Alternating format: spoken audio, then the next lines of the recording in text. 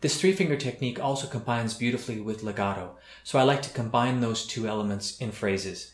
If we were to play a phrase here, for example, with these six notes of one, two, four, one, two, four, I might play the first three notes with the three finger technique, and then play legato on the next three where I just strike this, the first note, and then hammer on the next two. So I have the strike, strike, right? So all three of the first notes are played, and then just the first of the second three are played for that legato mm-hmm. sound. So you can get this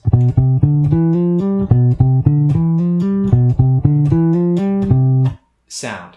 And you can take the speed up and you get this beautiful, beautiful tone, which I quite enjoy. Right? You get this beautiful legato and percussive attack, and you use that in your phrasing, and it's a great color to add to your phrasing. If you combine those two elements, you could play phrases like.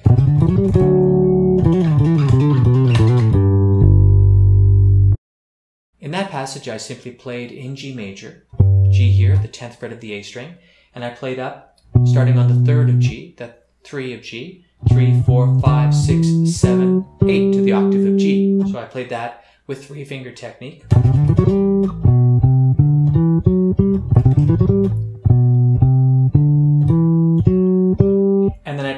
This legato phrase down, which is simply the G open string. It's that linear scale with a couple stops along the way, but it's all G major in the linear form. So it's simply, after I play that phrase,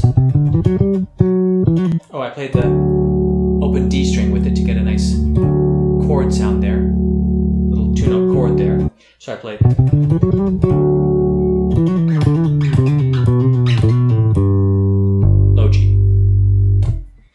That phrase. So that's the idea. Combine legato, you can use this three finger technique. Those two things go beautifully together and you can use it for some really beautiful punctuation and some really resonant speed when you want to, and for that beautiful effect as well, all by its own, of that beautiful sound of the triplets and quadruplets, uh, all by themselves. Hope you enjoy that. See you in the next lesson.